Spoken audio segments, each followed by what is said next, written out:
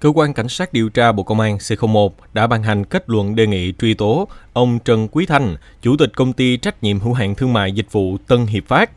Ông Trần Quý Thanh bị C01 đề nghị truy tố tội lạm dụng tín nhiệm chiếm đoạt tài sản. Hai con gái ông Trần Quý Thanh là Trần Uyên Phương và Trần Ngọc Bích cũng bị đề nghị truy tố cùng tội danh. Kết quả điều tra xác định, lợi dụng quy định về cho vay, hợp đồng chuyển nhượng, Chủ tịch tập đoàn Tân Hiệp Phát cùng hai con gái Trần Uyên Phương và Trần Ngọc Bích đã cho một số người vay lấy lãi dưới mức cấu thành tội phạm về cho vay lãi nặng. Khi cho vay, ông Thanh không làm hợp đồng vay tiền có cầm cố tài sản mà buộc các doanh nghiệp, cá nhân phải làm hợp đồng chuyển nhượng dự án, cổ phần trong dự án.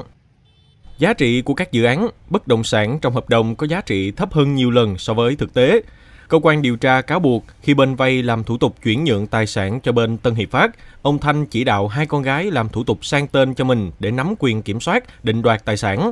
Mặc dù bên vay đã thực hiện nghĩa vụ trả đầy đủ gốc và nợ lãi theo thỏa thuận, nhưng ông Thanh vẫn dùng các thủ đoạn gian dối hoặc tạo ra các lý do để cố tình không trả lại tài sản và chiếm đoạt tài sản.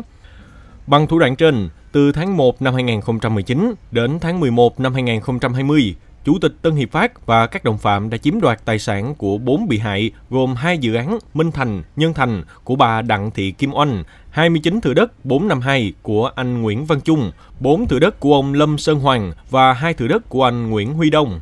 Tổng giá trị các tài sản là 767 tỷ đồng.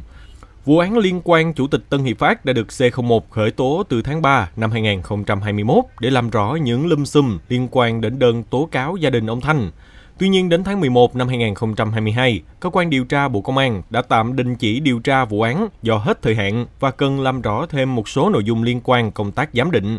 Đến đầu tháng 4 năm 2023, cha con Chủ tịch Tân Hiệp Phát bị bắt là ông Thanh và Uyên Phương.